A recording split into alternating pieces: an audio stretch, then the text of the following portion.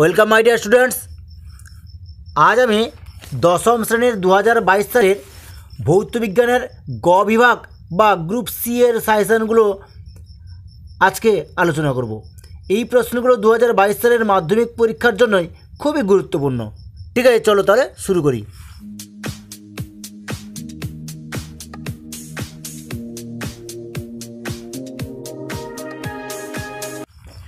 দেখো একে দেখেছে, প্রতিটি প্রশ্নের মান দুই। মানে এই সমস্ত, যে সমস্ত প্রশ্নগুলো আজকে তোমাদের আলোচনা করব, এগুলো হচ্ছে প্রত্যেকটা প্রশ্নের মান দুই।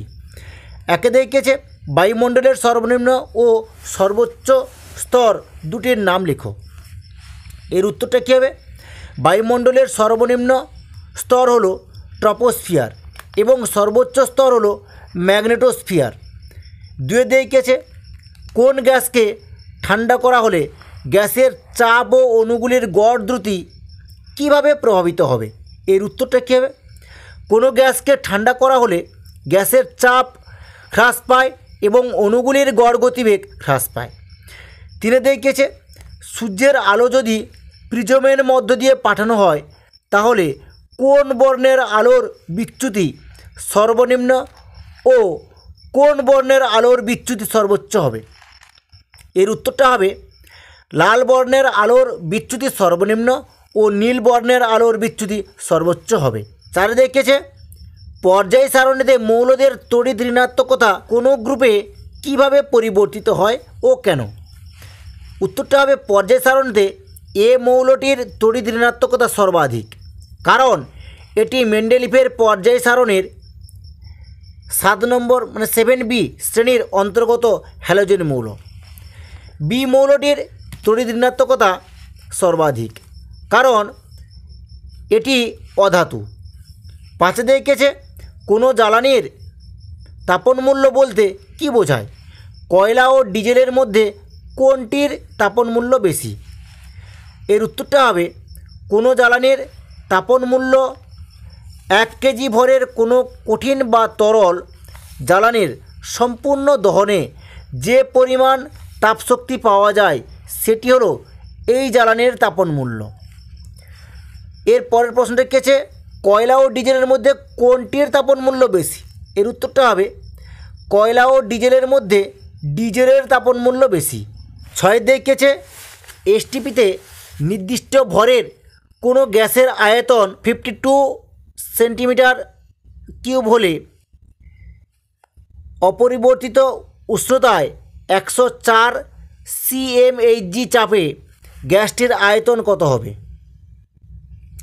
এর উত্তরটা হবে, গ্যাসের প্রাথমিক চাপ পি ওয়ান ইকুয়াল টু ছিয়াত্তর সিএমএইচজি গ্যাসের প্রাথমিক আয়তন V one equal to fifty two C M cube গ্যাসের অন্তিম চাপ পি টু ইকুয়াল টু একশো চার সিএমএইচজি গ্যাসের অন্তিম আয়তন ভি টু ইকুয়াল টু জিজ্ঞাস চিহ্ন। মানে এটার এটার মান বার করতে হবে। যেহেতু গ্যাসের উষ্ণতা ও ভর অপরিবর্তিত, তাই বয়েলের সূত্র প্রয়োগ করে পাই P one V one equal to P two V two বা এবার যে যার মানটা বসিয়ে দিচ্ছি এ পি ওয়ানের মান হচ্ছে সেভেন্টি সিক্স আর ভি ওয়ানের মান হচ্ছে ফিফটি টু আর পি টুর মান হচ্ছে কী বলতে কি, একশো চার।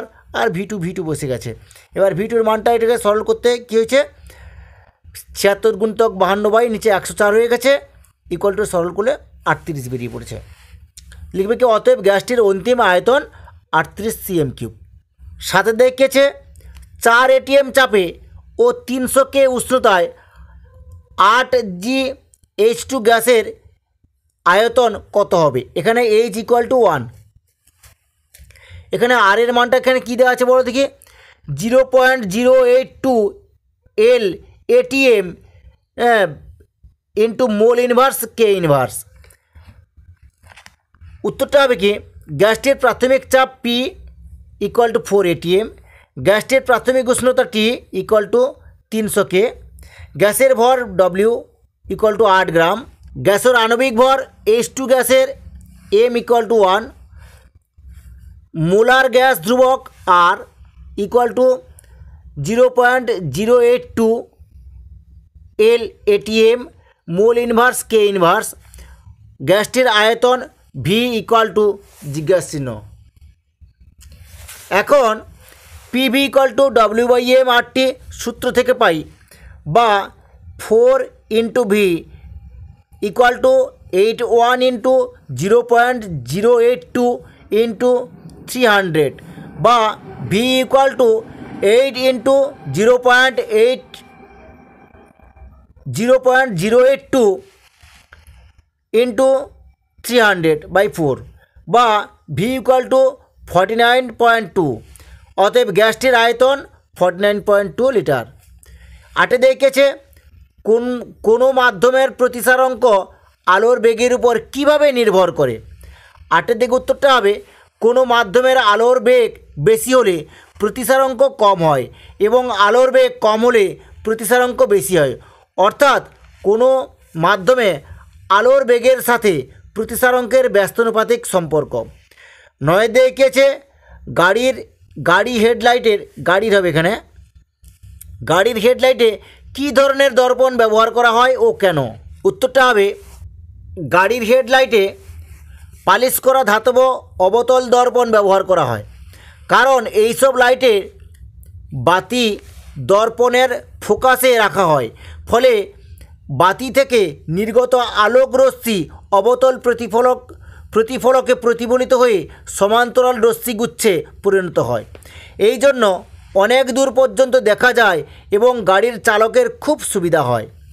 দশ দেখেছে চিনির জলীয় দ্রবণ তড়িৎ পরিবহন করতে পারে না, কিন্তু সোডিয়াম ক্লোরাইডের জলীয় দ্রবণ পারে কেন?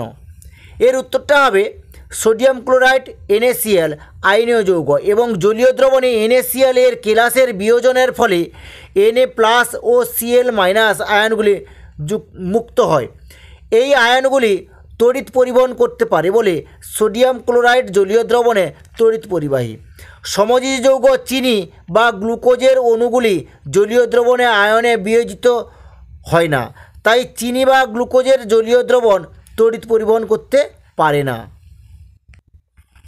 এগারো দেখেছে সোডিয়াম ক্লোরাইডের ক্ষেত্রে আণবিক ওজনের বদলে সাংকেতিক ওজন কথাটি ব্যবহার করা সঙ্গত কেন? এর উত্তরটা হবে, প্রতিটি আয়নীয় যৌগের কেলাস অসংখ্য অসংখ্য ক্যাটায়ন ও অ্যানায়ন পরস্পর স্থিত তারিতিক আকর্ষণ বলের প্রভাবে যুক্ত হয়ে গঠিত হয়। আয়নীয় যৌগ সুস্থিত ত্রিমাত্রিক আকার বিশিষ্ট কেলাস হওয়ায় আয়নীয় যৌগের ক্ষেত্রে বিচ্ছিন্ন অণুর অস্তিত্ব নেই। তাই আয়নীয় যৌগের ক্ষেত্রে আণবিক ভরের পরিবর্তে সংকেত ভর কথাটি প্রযোজ্য। যেহেতু সোডিয়াম ক্লোরাইডের একটি আয়নীয় যৌগ যেহেতু সোডিয়াম ক্লোরাইড একটি আয়নীয় যৌগ, তাই সোডিয়াম ক্লোরাইডের ক্ষেত্রে আণবিক ওজনের বদলে সাংকেতিক ওজন কথাটি ব্যবহার করা হয়।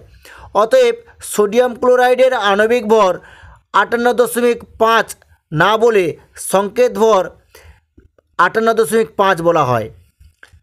বারো দেখেছে ন্যাপথালিন ও সোডিয়াম ক্লোরাইডের প্রদত্ত দুটি ধর্মের তুলনা করো, গলনাঙ্ক ও জলের দ্রাব্যতা। এর উত্তরটা হবে সোডিয়াম ক্লোরাইড আয়নীয় যৌগ এবং ন্যাপথালিন সমযোজী যৌগ। তাই সোডিয়াম ক্লোরাইডের গলনাঙ্ক ন্যাপথালিনের থেকে বেশি। দুয়ে কী লিখবে? সোডিয়াম ক্লোরাইড আয়নীয় যৌগ এবং ন্যাপথালিন সমযোজী যৌগ। তাই সোডিয়াম ক্লোরাইড ধ্রুবীয় দ্রাবকে দ্রবীভূত হয় না এবং ন্যাপথালিন ধ্রুবীয় দ্রাবকে মানে জলে দ্রবীভূত হয় না। তেরো দেখেছে জিঙ্ক অক্সাইড থেকে কীভাবে জিঙ্ক ধাতু পাওয়া যায়? বিক্রিয়াটি সমিত রাসায়নিক সমীকরণ সহ লেখো। দেখো, তেরো দেখ উত্তরটা কী হবে? জিঙ্ক অক্সাইড জেট এনও এর সঙ্গে অতিরিক্ত কোক চূর্ণ ভালোভাবে মিশিয়ে মিশ্রণটিকে অগ্নিসহ মাটির তৈরি বকযন্ত্র নিয়ে তেরোশো থেকে চোদ্দোশো ডিগ্রি সি উষ্ণতায় উত্তপ্ত করা হয়। এর ফলে জিঙ্ক অক্সাইড ধাতব জিঙ্কে বিজারিত হয় এবং কার্বন মনোক্সাইড সিও গ্যাস উৎপন্ন হয়। এক্ষেত্রে বিজারক হিসাবে কোক চূর্ণ ব্যবহার করা হয়। এই বিক্রিয়ার সমিত রাসায়নিক সমীকরণটি হলো জেটেনও প্লাস সি চিহ্ন একটি দিয়ে দেবে তোমরা এরকম, জেটেন প্লাস সিও, আর উপরের দিকে তীরচিহ্ন করে দেবে। চোদ্দ দেখেছে ইথিলিনের গঠন সংকেতের সাহায্যে দেখাও, যে এটি একটি অসম্পৃক্ত হাইড্রোকার্বন। এর উত্তরটা হবে, কার্বন ও হাইড্রোজেন দ্বারা গঠিত যে জৈব যৌগে অন্তত দুটি কার্বন পরমাণু পরস্পরের সঙ্গে সমযোজী দ্বিবন্ধন বা ত্রিবন্ধন দ্বারা যুক্ত থাকে, তাকে অসম্পৃক্ত হাইড্রোকার্বন বলে। সি টু এইচ ফোর বা ইথিলিন অণুতে দুটি সি পরমাণু নিজেদের মধ্যে একটি দ্বিবন্ধন গঠন করে এবং এভাবে সি পরমাণু দুটি করে যোজ্যতা পরিপৃক্ত হয়। প্রতিটি কার্বন বাকি দুটি যোজ্যতা পূর্তির জন্য দুটি এইচ পরমাণুর সঙ্গে দুটি একক বন্ধন গঠন করে। তাই ইথিলিন একটি অসম্পৃক্ত হাইড্রোকার্বন। এই যে ছবিটা দেখেছ, যেরকম আমি এঁকে দিয়েছি, তোমরা এরকম ছবিটা এঁকে দেবে। পনেরো দিয়ে মিথেন হাইড্রেট কি? এর উত্তরটা হবে মিথেন হাইড্রেট হলো এক ধরনের কঠিন ক্লাথ্রেট যৌগ, যেখানে মিথেন অণুগুলি জলের অণু দ্বারা গঠিত বরফ সদৃশ্য ক্লাস গঠনের মধ্যে সঞ্চিত থাকে। এর সংকেত হলো four C H four into twenty three H টুও এটি সমুদ্রের ভূগর্ভস্থ স্তরে থাকে। উপযুক্ত চাপ ও উষ্ণতায় কেবল এর অস্তিত্ব বজায় থাকে। ভবিষ্যতে জ্বালানির সংকট মোকাবিলায় এটি বিশেষ সহায়ক হবে।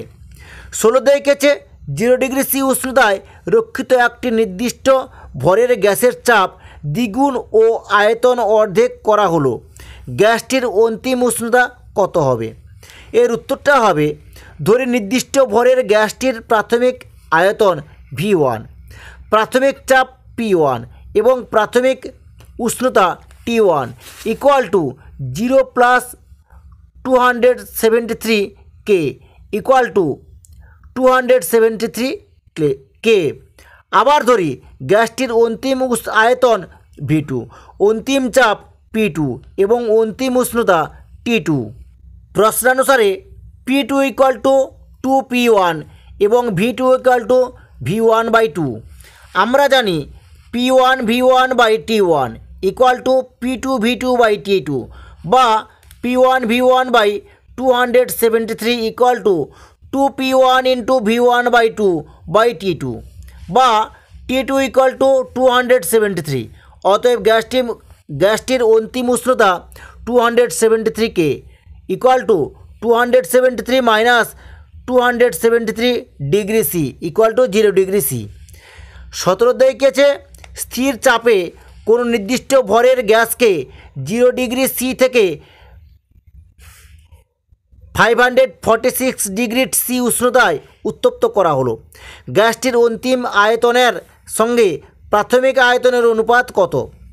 এর উত্তরটা তোমরা এভাবে লিখবে যে ধরি স্থির চাপে নির্দিষ্ট ভরের গ্যাসটির প্রাথমিক আয়তন ভি ওয়ান এবং প্রাথমিক উষ্ণতা T one equal to zero plus two hundred seventy three K equal to two hundred seventy three K আরও ধরি, গ্যাসটির অন্তিম আয়তন ভি টু এবং অন্তিম উষ্ণতা T two equal to five hundred forty six plus two hundred seventy three K equal to eight hundred nineteen K চার্লসের সূত্রানুযায়ী, স্থির চাপে নির্দিষ্ট ভরের কোনো গ্যাসের ক্ষেত্রে V one T one by V one by T one equal to V two by T two বা V one by two hundred seventy three equal to V one by eight hundred nineteen বা V two by V one equal to three by one বা V two is to V one equal to three is to one অতএব গ্যাসটির অন্তিম আয়তনের সঙ্গে প্রাথমিক আয়তনের অনুপাত থ্রি ইস টু ওয়ান আঠেরো দেখেছে কোনো উত্তর লেন্সের আলোক কেন্দ্র বলতে কি বোঝায়? এর উত্তরটা হবে উত্তর লেন্সের আলোককেন্দ্র। যদি কোনো আলোক রশ্মি কোনো উত্তর লেন্সের একটি তলে আপতিত হয়ে লেন্সের মধ্য দিয়ে গিয়ে অন্য তল থেকে নির্গত হওয়ার সময় আপতিত রশ্মির সঙ্গে সমান্তরালভাবে নির্গত হয়, তাহলে উত্তর লেন্সের মধ্যে মধ্যে দিয়ে যাওয়ার সময় আলোক রশ্মি প্রধান অক্ষকে যে বিন্দুতে ছেদ করে, তাকে উত্তর লেন্সের আলোককেন্দ্র বলে। উনিশ দেখিয়েছে দিনের বেলায় আকাশ নীল দেখায় কেন? উত্তরটা হবে, সূর্যের আলো ভূপৃষ্ঠে আসার পূর্বে অনেকটা পথ বায়ুমণ্ডলের মধ্য দিয়ে যায়। বায়ুমণ্ডলের মধ্যে থাকা ক্ষুদ্র ধূলিকণা গ্যাসের অণু সূর্যালোকের বিক্ষেপণ ঘটায়। দৃশ্যমান আলোর মধ্যে লাল আলোর তরঙ্গ দৈর্ঘ্য সবচেয়ে বেশি বলে লাল আলোর বিক্ষেপণ কম হয়। কিন্তু নীল বা বেগুনি বর্ণের আলোর তরঙ্গ দৈর্ঘ্য কম হওয়ায় এই আলোর তরঙ্গ দৈর্ঘ্য কম হয়, এই আলোর বিক্ষেপণ বেশি হয় এবং চারিদিকে ছড়িয়ে পড়ে। আমাদের চোখ বেগুনি অপেক্ষা নীল আলোর জন্য বেশি সংবেদনশীল বলে আমরা দিনের বেলায় আকাশকে নীল দেখি। কুড়ি দেখেছে লুইসের ধারণা অনুসারে সমযোজী যৌগের উদাহরণ দিয়ে লেখো। উত্তরটা হবে লুইসের ধারণা অনুসারে দুটি পরমাণুর মধ্যে এক বা একাধিক ইলেকট্রন জোড় সমভাবে ব্যবহৃত হয়ে যে রাসায়নিক বন্ধন গঠন করে, তাকে সমযোজী বন্ধন বলে। যেমন এন টু অণুর গঠন। এন টু অণুর গঠন, দুটি এন পরমাণুর টু ফাইভ সংযোগে এন টু অণু গঠনের সময় একটি এন পরমাণুর বহিস্তম কক্ষের তিনটি ইলেকট্রন, অপর এন পরমাণুর বহিস্থ কক্ষে তিনটি ইলেকট্রনের সাথে তিনটি ইলেকট্রন জোড় গঠন করে। এর ফলে প্রতিটি এন পরমাণুর নিকটবর্তী নিষ্ক্রিয় মৌল নিয়নের ইলেকট্রন বিন্যাস লাভ করে। সুস্থিত হয় দু সুস্থিত হয়। দুটি এন পরমাণুর মাঝে তিনটি সমযোজী বন্ধন গঠিত হয়ে এনটি অণু উৎপন্ন হয়। এবার আমি দেখো লুইস ডট চিত্র যেরকম আমি এঁকে দিয়েছি, তোমরা এভাবে ছবিটা এঁকে নেবে। বুঝলে? দেখো কুড়ি দেখেছে সোডিয়াম ক্লোরাইডের বন্ধন এনএ বন্ড সিএল হিসেবে প্রকাশ করা যায় না কেন? উত্তরটা হবে, সোডিয়াম ক্লোরাইড আয়নীয় যৌগ। সোডিয়াম ক্লোরাইডের সমযোজী বন্ধন নেই, কারণ এক্ষেত্রে ইলেকট্রন জোড় গঠিত হয় না। N A bond C L বলতে এনএ ও সিএল পরমাণুর মধ্যে সমযোজী বন্ধনের উপস্থিতিকে বোঝায়। তাছাড়া সোডিয়াম ক্লোরাইডের ক্ষেত্রে অণুর অস্তিত্ব নেই, তাই সোডিয়াম ক্লোরাইডের বন্ধন এনএ বন্ড সিএল দ্বারা প্রকাশ করা হয় না। আমি এই যে ছবিটা এঁকে দিয়েছি, এই ছবিটা তোমরা এঁকে নেবে। একুশের দাগিয়েছে একটি তরল ও একটি কঠিন সমযোজী যৌগের উদাহরণ দাও। উত্তরটা হবে তরল সমযোজী যৌগের উদাহরণ হলো জল এইচ টুও কঠিন সমযোজী যৌগের উদাহরণ হলো চিনি C twelve H twenty two O eleven বাইশে দেখেছে এম এসও ফোর এম ধাতু এর জলীয় দ্রবণকে তড়িৎ বিশ্লেষণ করলে ক্যাথোডে কি বিক্রিয়া ঘটে লেখো? বিক্রিয়াটি জারণ না বিজারণ যুক্তিসহ লেখো। উত্তরটা তোমরা এরকম লিখবে, এম এসও ফোর এম ধাতু এর জলীয় দ্রবণকে তড়িৎ বিশ্লেষণ করলে রাসায়নিক বিক্রিয়াটি হলো এম এসও ফোর অ্যারোচন দেবে, M two plus S O four two minus. সুতরাং ক্যাথোড বিক্রিয়াটি হলো M two plus two E অ্যারোচনে দিয়ে এম লিখবে। এর পরের প্রশ্নের উত্তরটা এরকম লিখবে যে বিক্রিয়াটি জারণ না বিজারণ যুক্তি সহ লিখতে বলেছে। এর উত্তর তোমরা লিখবে, যেহেতু এম টু প্লাস ক্যাথোড থেকে দুটি ইলেকট্রন গ্রহণ করে, তাই ক্যাথোডে বিজারণ ঘটে। সুতরাং বিক্রিয়াটি বিজারণ। তেইশে দেখেছে ক্লোরিনের সঙ্গে মিথেনের প্রতিস্থাপন বিক্রিয়ার শর্ত কী? বিক্রিয়ার প্রথম ধাপের সমিত রাসায়নিক সমীকরণটি লেখো। এর উত্তরটা হবে ক্লোরিনের সঙ্গে মিথেনের প্রতিস্থাপন বিক্রিয়ার শর্ত। বিক্ষিপ্ত সূর্যালোকের উপস্থিতিতে ক্লোরিনের সঙ্গে মিথেনের প্রতিস্থাপন বিক্রিয়াটি ঘটে। এর পরের উত্তরটা কী আছে? যে বিক্রিয়ার প্রথম ধাপের সমিত রাসায়নিক সমীকরণ মিথেনের একটি হাইড্রোজেনের পরমাণু ক্লোরিন পরমাণু দ্বারা প্রতিস্থাপিত হয়ে মিথাইল ক্লোরাইড ও হাইড্রোজেন ক্লোরাইড উৎপন্ন করে। এর সমীকরণটা হবে CH four plus CL two বিক্ষিপ্ত অ্যারোচিনের উপরে বিক্ষিপ্ত লিখবে আর অ্যারোচিনের নিচে লিখবে সূর্যালোক। C H three C L plus H C L চব্বিশ তারিখেছে ইথানলের সঙ্গে ধাতব সোডিয়ামের বিক্রিয়ায় কি ঘটে? সমিত রাসায়নিক বিক্রিয়া সমিত রাসায়নিক সমীকরণ সহ লেখো। উত্তরটা হবে ইথানলের সঙ্গে ধাতব সোডিয়ামের বিক্রিয়ায় সোডিয়াম হাইড্রোক্সাইড উৎপন্ন হয় ও হাইড্রোজেন গ্যাস নির্গত হয়। এর রাসায়নিক সমীকরণটা তোমরা এরকম লিখবে।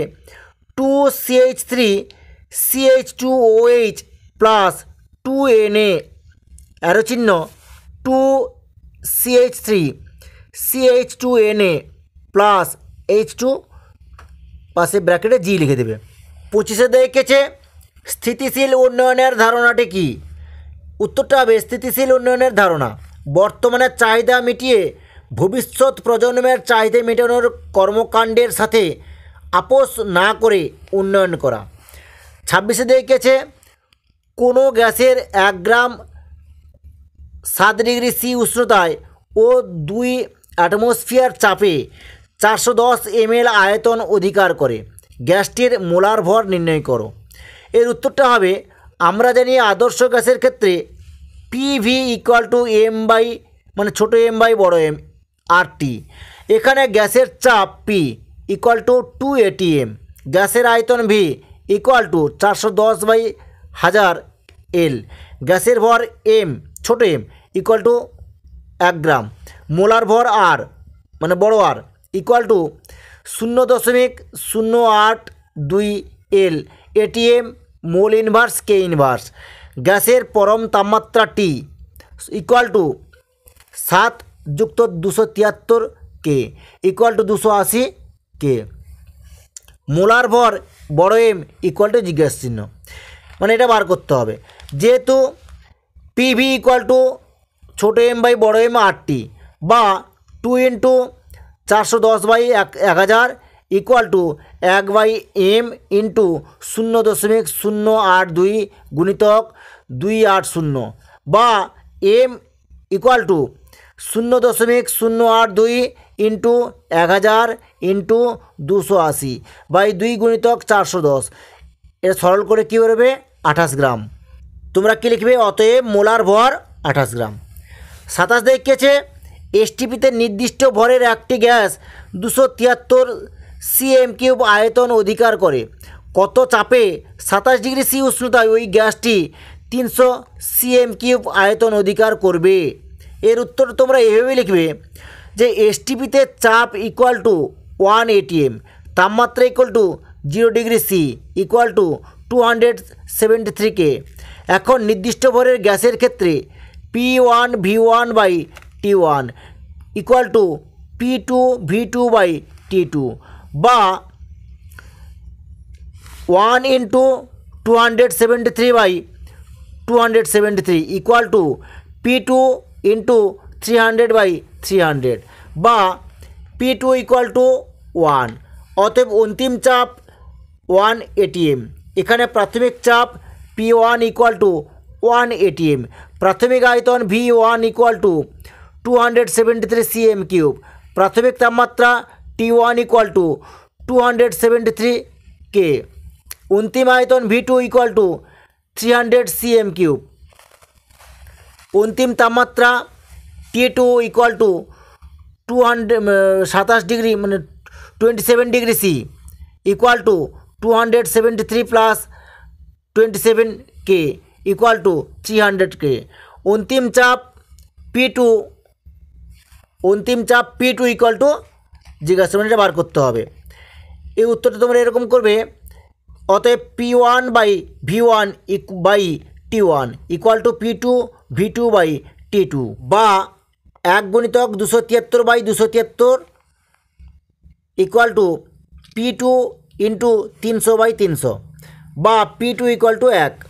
অতএব এক একক চাপে সাতাশ ডিগ্রি সি উষ্ণতায় ওই গ্যাসটি তিনশো সিএম কিউব আয়তন অধিকার করবে। আঠাশ দেখিয়েছে, কোনো মাধ্যমের প্রতিসারঙ্ক কাকে বলে?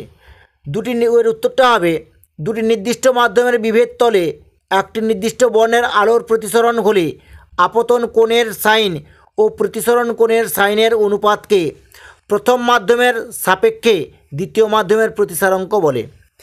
উনত্রিশ দেখিয়েছে উত্তর লেন্স দ্বারা কোন ধরনের দৃষ্টি ত্রুটি প্রতিকার করা হয়। উত্তরটা হবে, উত্তর লেন্সের দ্বারা দীর্ঘদৃষ্টি বা হাইপারমেট্রোপিয়া ত্রুটি প্রতিকার করা হয়। যদি চোখ দূরের জিনিস স্পষ্ট দেখতে পায়, কিন্তু কাছের জিনিস দেখতে পায় না। তাহলে এই ধরনের ত্রুটিকে হাইপারমেট্রোপিয়া বলে।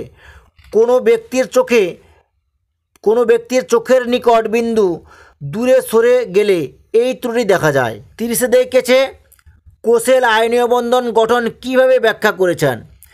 উত্তরটা হবে, ধাতুর পরমাণুর ক্ষেত্রে পূর্ববর্তী নিষ্ক্রিয় মৌলের পরমাণু অপেক্ষা একটি দুটি বা তিনটি ইলেকট্রন বেশি থাকে। এরা এই অতিরিক্ত ইলেকট্রন ত্যাগ করে পূর্বের নিষ্ক্রিয় মৌলের সম ইলেক ইলেকট্রনীয় হতে চায় এবং এদের সর্বশেষ স্তরে আটটি ইলেকট্রন হয়। অন্যটি অধাতর পরমাণুর ক্ষেত্রে পরবর্তী নিষ্ক্রিয় মৌলের পরমাণুর অপেক্ষা একটি, দুটি বা তিনটি ইলেকট্রন কম থাকে। এরা এই অতিরিক্ত ইলেকট্রন অন্য মৌল থেকে গ্রহণ করে। পরবর্তী নিষ্ক্রিয় মৌলের সময় ইলেকট্রনীয় হতে চায় এবং এদের সর্বশেষ স্তরে আটটি ইলেকট্রন হয়। কোষেলের মতে, একটি ধাতুর মৌল ও একটি অধাতুর মৌল পরস্পরের সংস্পর্শে এলে ধাতুর মৌল থেকে অধাতুর মৌলে ইলেকট্রন স্থানান্তরিত হয়। ইলেকট্রন ত্যাগ করে ধাতুর মৌলটি মৌলটি ক্যাটায়নে এবং ইলেকট্রন গ্রহণ করে অধাতুর মৌলটি অ্যানায়নে পরিণত হয়। এইভাবে যে বন্ধন সৃষ্টি হয়, তাকেই আয়নীয় বন্ধন বলে। একত্রিশ দেখেছে, তরল হাইড্রোজেন ক্লোরাইড তড়িৎ পরিবহনের সক্ষম নয়, কিন্তু গলিত সোডিয়াম ক্লোরাইড তড়িৎ পরিবহনে সক্ষম। ব্যাখ্যা করো। উত্তরটা হবে, সোডিয়াম ক্লোরাইড এনএসিএল আয়নীয় যৌগ এবং জলীয় দ্রবণে এনএসিএল এর কেলাসের বিয়োজনের ফলে। এনএ প্লাস ও সিএল মাইনাস আয়নগুলি মুক্ত হয়। এই আয়নগুলি তড়িৎ পরিবহন করতে পারে বলে সোডিয়াম ক্লোরাইডের জলীয় দ্রবণ তড়িৎ পরিবাহী। অপরদিকে তরল হাইড্রোজেন ক্লোরাইড এইচসিএল সমযোজী যৌগ, যেটি বিশুদ্ধ অবস্থায় আয়নিত হয় না, তাই বিশুদ্ধ তরল এইচসিএল তড়িৎ পরিবহন করতে পারে না। বত্রিশ দেখিয়েছে দুটি ভৌত ধর্মের সাহায্যে সোডিয়াম ক্লোরাইড ও ন্যাপথালিনের মধ্যে পার্থক্য করো। একটা লিখবে সোডিয়াম ক্লোরাইড আর অপর দিকে লিখবে ন্যাপথালিন। একে কী লিখবে? ধ্রুবীয় দ্রাবকে দ্রবীভূত হয়, যেমন জল,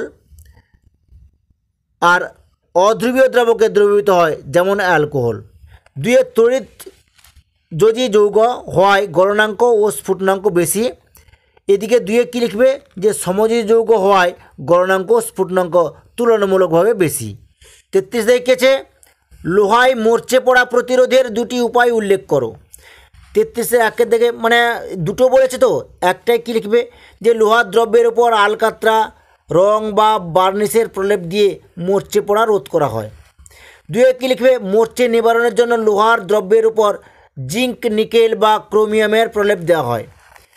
চৌত্রিশ দেখিয়েছে, মিথেনকে অক্সিজেনে দহন করলে কি ঘটে? সমিত রাসায়নিক সমীকরণ সহ লেখো। উত্তরটা হবে, মিথেনকে অক্সিজেনের দহন করলে কার্বন ডাই অক্সাইড ও জলীয় বাষ্প উৎপন্ন হয় এবং তাপ, তাপশক্তি নির্গত হয়। এর বিক্রিয়াটা তোমরা কী লিখবে? যে CH four plus two O two এর জন্য কী লিখবে CO two plus two H two O পঁয়ত্রিশ দেখেছে বায়ুমণ্ডলের স্তরগুলির মধ্যে কোনটিতে চাপ সবথেকে বেশি? কারণ সহ লেখো। এর উত্তরটা হবে বায়ুমণ্ডলের স্তরগুলির মধ্য দিয়ে টপোস্ফিয়ার স্তরে বায়ুর চাপ সবচেয়ে বেশি। কারণ ওই স্তরে বায়ুমণ্ডলের প্রায় পঁচাত্তর পার্সেন্ট গ্যাসীয় উপাদান যেমন N two O two CO two এবং প্রায় নিরানব্বই পার্সেন্ট জলীয় বাষ্প এই স্তরে থাকে। ফলে এই স্তরে বায়ুর ঘনত্ব অন্যান্য স্তরের চেয়ে বেশি হয়। ছত্রিশ দেখিয়েছে সাতাশ ডিগ্রি সি উষ্ণতায় সাতশো এমএমএইচজি চাপে ও সাতশো এমএমএইচজি চাপে বত্রিশ গ্রাম ও টু ও চুয়াল্লিশ গ্রাম সিও টু গ্যাস দ্বারা অধিকৃত আয়তনের অনুপাত নির্ণয় করো। সি টুয়েলভ ও সিক্সটিন আচ্ছা এর উত্তরটা তোমরা এরকম লিখবে, যে এক্ষেত্রে টি ইকুয়াল টু সাতাশ ডিগ্রি সি ইকুয়াল টু সাতাশ যুক্ত দুশো তিয়াত্তরকে ইকুয়াল টু তিনশোকে পি ইকুয়াল টু সাতশো m m H g O two এর আণবিক গুরুত্ব ইকুয়াল টু ষোলো গুণিতক দুই ইকুয়াল টু বত্রিশ। ও টু এর মূল সংখ্যা এন ইকুয়াল টু বত্রিশ বাই বত্রিশ। এখন PV equal to N R T আচ্ছা এটা বত্রিশ বাই বত্রিশ কাটাটি করলে এক হয়ে যাবে। এখন PV equal to N R T অতএব সাতশো into V equal to one into R into three hundred অতএব V equal to three R by seven আবার সিও টু এর আণবিক গুরুত্ব twelve plus thirty two equal to forty four অতএব CO two এর মোল সংখ্যা N equal to forty four by forty four equal to one এখন PV equal to nRT অতএব সাতশো into V equal to one into R into three hundred মানে তিনশো, বা V equal to three R by seven অতএব gas দুটির আয়তনের অনুপাত three R by seven is to three R by seven equal to এটা কাটারি হয়ে গেলে কী হবে? ওয়ান ইস টু ওয়ান সাঁত্রিশ দেখিয়েছে নির্দিষ্ট ভরের একটি গ্যাস মাইনাস তেরো ডিগ্রি সি উষ্ণতায় পাঁচশো কুড়ি সিএম কিউব আয়তন অধিকার করে। চাপ অপরিবর্তিত রেখে গ্যাসটিকে উত্তপ্ত করলে গ্যাসের আয়তন বেড়ে সাতশো সিএম কিউব হয়। গ্যাসটির অন্তিম উষ্ণতা কত ডিগ্রি সেলসিয়াস? উত্তর তোমরা কী লিখবে? এক্ষেত্রে T one equal to minus তেরো প্লাস দুশো তিয়াত্তর কে ইকুয়াল টু দুশো ষাট K. V one equal to পাঁচশো কুড়ি cm cube V two equal to সাতশো সিএম কিউব এখন চার্লসের সূত্র থেকে পাই V one by T one equal to V two by T two বা পাঁচশো কুড়ি বাই দুশো ষাট ইকুয়াল টু সাতশো বাই টি টু বা পাঁচশো কুড়ি into T two equal to সাতশো বাই দুশো ষাট বা টি টু ইকুয়াল টু সাতশো গুণিতক দুশো ষাট বাই পাঁচশো কুড়ি বা টি টু ইকুয়াল টু তিনশো পঞ্চাশ অতএব তিনশো পঞ্চাশকে ইকুয়াল টু তিনশো পঞ্চাশ মাইনাস দুশো তিয়াত্তর ডিগ্রি সি ইকুয়াল টু সাতাত্তর ডিগ্রি সি অতএব গ্যাসটির অন্তিম উষ্ণতা সাতাত্তর ডিগ্রি সি আটত্রিশ দেখিয়েছে, একটি সরল ক্যামেরার দ্বারা গঠিত প্রতিবিম্বের দুইটি বৈশিষ্ট্য উল্লেখ করো। এর উত্তরটা হবে, একটি সরল ক্যামেরার দ্বারা গঠিত প্রতিবিম্বের দুইটি বৈশিষ্ট্য হলো সদ অবশিষ্ট। উনচল্লিশ দেখে কী হবে? মানে কী আছে? অসীমে অবস্থিত কোনো বিস্তৃত বস্তুর অবতল দর্পণ কর্তৃক গঠিত প্রতিবিম্ব দর্পণের সামনে কোথায় গঠিত হবে? প্রতিবিম্বের একটি বৈশিষ্ট্য উল্লেখ করো। উত্তরটা হবে কি? অসীমে অবস্থ কোনো বিস্তৃত বস্তুর অবতল দর্পণ কর্তৃক গঠিত প্রতিবিম্ব ফোকাসে গঠিত হবে। প্রতিবিম্বটির বৈশিষ্ট্য সৎ অবশিষ্ট, অত্যন্ত ক্ষুদ্র বা বিন্দু সদৃশ্য। চল্লিশ দেখিয়েছে, একটি আয়নীয় যৌগের উদাহরণ দিয়ে দেখাও যে এর আয়নগুলি অষ্টক নীতি মান্য করে না। উত্তরটি লিখবে কি? সিইউ এসও ফোর আর একটা গোল করে দেবে। Cu plus SO four two minus Cu two plus এর ইলেকট্রন বিন্যাস one s two two s two two p six three s two three p six three d nine Cu two plus এর সর্বশেষ কক্ষে উপস্থিত ইলেকট্রনের সংখ্যা সতেরোটি, যা এইট অপেক্ষা বেশি। অর্থাৎ সিইউএসও ফোর যৌগ অষ্টক নিয়ম মেনে চলে না। একচল্লিশ দেখেছে? দেখাও যে এফ আইনীয় বন্ধন গঠন করে এন এর সঙ্গে, কিন্তু সমযোজী বন্ধন গঠন করে এইচের সঙ্গে। এইচ, এফ ও এন এর পারমাণবিক সংখ্যা যথাক্রমে ওয়ান নাইন ও ইলেভেন। এর উত্তরটা হবে এন এ পরমাণুর ইলেকট্রন বিন্যাস কে কক্ষে দুটি এল কক্ষে আটটি এম কক্ষে একটি এবং এফ পরমাণুর ইলেকট্রন বিন্যাস কে কক্ষে দুটি এল কক্ষে সাতটি। একটি এন এ পরমাণু যখন একটি এফ পরমাণুর সাথে রাসায়নিক বিক্রিয়ায় অংশগ্রহণ করে, তখন এন এ পরমাণুটি তার সর্ববহিষ্ঠ কক্ষের একটি ইলেকট্রন ত্যাগ করে। এন এ প্লাস ক্যাটায়নে পরিণত হয়। ও নিকটবর্তী নিষ্ক্রিয় মৌল এনই ইলেকট্রন বিন্যাস, কে কে কক্ষে দুটি, এল কক্ষে আটটি লাভ করে। অন্যদিকে, এফ পরমাণুর এন এ পরমাণুর দ্বারা বর্জিত একটি ইলেকট্রন গ্রহণ করে। এফ অ্যানায়নে পরিণত ও নিকটবর্তী নিষ্ক্রিয় মৌল এনই ইলেকট্রন বিন্যাস লাভ করে। এরপর, বিপরীতধর্মী এনএ ও এনএ প্লাস ও এফ স্থির তরিতিক তরিতিক আকর্ষণ বলের মাধ্যমে পরস্পর যুক্ত হয়ে আয়নীয় যৌগ এনএএফ গঠন করে। আমি এখানে যে চিত্রটি এঁকে দিয়েছি, সেই ছবিটা তোমরা এঁকে নেবে। বুঝলে তো? এরপরে কী লিখবে? যে এইচ এফ অনুগঠনের সময় এইচ ও এফ পরমাণু টু সেভেন যোজ্যতা কক্ষ থেকে একটি করে ইলেকট্রন এসে একটি ইলেকট্রন জোড় গঠিত হয়। এই ইলেকট্রন জোড়কে উভয় পরমাণুর সমভাবে ব্যবহার করে। ফলে এইচ পরমাণু এইচ ই পরমাণু এবং এফ পরমাণু এন ই পরমাণুর সুস্থিত ইলেকট্রন বিন্যাস লাভ করে। এইচ ও এফ পরমাণু সমযোজী বন্ধনে আবদ্ধ হয়ে এইচ এফ অণু গঠন করে। যে ছবিটা আমি এঁকে দিয়েছি, সেই ছবিটা তোমরা এঁকে নেবে। বিয়াল্লিশ দেখেছে এগারোশো ডিগ্রি সি উষ্ণতায় উত্তপ্ত ক্যালসিয়াম কার্বাইডের উপর দিয়ে এন টু গ্যাস চালনা করলে কি ঘটে? সমিত রাসায়নিক সমীকরণ সহ লেখো। উত্তরটা হবে কি? এগারোশো ডিগ্রি সি উষ্ণতায় উত্তপ্ত ক্যালসিয়াম কার্বাইডের উপর দিয়ে এন টু গ্যাস চালনা করলে ক্যালসিয়াম সায়ামাইড, সিএএন, সিএন ও কার্বনের ধূসর মিশ্রণ উৎপন্ন হয়, যাকে নাইট্রোলিম বলে। আর এটা আমি যেটা এখানে যে সমীকরণটা লিখে দিয়েছি, তোমরা সেই সমীকরণটা তুলে নেবে। তেতাল্লিশ দেখেছে থার্মিট পদ্ধতিতে ফেরিক অক্সাইড থেকে ধাতব আয়ন উৎপন্নের বিক্রিয়াটি সমিত রাসায়নিক সমীকরণ লেখো। এই পদ্ধতির একটি প্রয়োগ উল্লেখ করো। থার্মিট পদ্ধতিতে ফেরিক অক্সাইড থেকে ধাতব আয়রন উৎপন্নের বিক্রিয়াটি সমিত রাসায়নিক সমীকরণটি হলো এফি two O three plus two Al অ্যারোচনে দিয়ে দেবে। টু এফি গলিত এল টু ও থ্রি এই পদ্ধতিটি একটি প্রয়োগ। এই পদ্ধতিতে রেল লাইন ট্রাম লাইন, বড় বড় লোহার মেশিন বা জাহাজের ভাঙা অংশ জোড়া লাগানো হয়। ঠিক আছে? আজ এই পর্যন্ত। নেক্সট ভিডিওতে তোমাদের সঙ্গে দেখা হবে।